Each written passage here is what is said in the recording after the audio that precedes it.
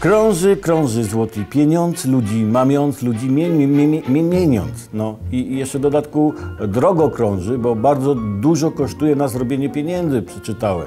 Produkcja gotówki nas, podatników, kosztuje 16 miliardów złotych rocznie. Tyle, ile wynosi połowa naszego deficytu budżetowego. Gotówka w Polsce jest dwa razy droższa niż w innych krajach Unii. A widzicie, Unii to, to wiedzą, jak się ustawić. Dlatego coraz częściej mówi się o potrzebie likwidacji gotówki, bo no, drogi ten nasz pieniądz.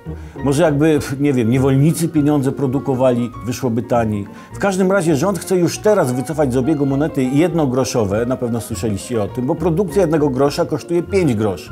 Oczywiście żadnemu mądrali nie przyszło do głowy, żeby groszówki przerabiać na choćby medaliki po 5 zł jeden, a, a zarobione pieniądze przeznaczyć na produkcję pieniędzy. No bo po co ma przychodzić do głowy?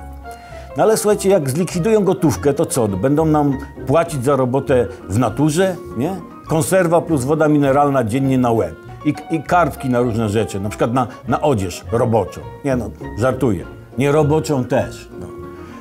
Żal by było gotówki, słuchajcie, bo nie byłoby co podrabiać, a Polska ma się czym pochwalić. Swego czasu pięciozłotówki podrobione przez fałszerza z Krakowa, pana Krzysztofa, w sześciostopniowej skali e, jakości otrzymały od ekspertów z Narodowego Banku Polskiego najwyższy szósty stopień, a więc można uczciwie podrabiać. Pan Krzysztof robił piątki na szóstkę.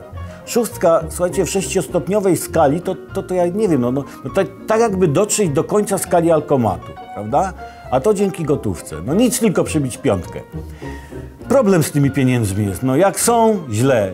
Jak ich nie ma, jeszcze gorzej. Pieniądze to w ogóle wynaleźli Fenicjanie. Tylko dlaczego tak mało i tak drogo?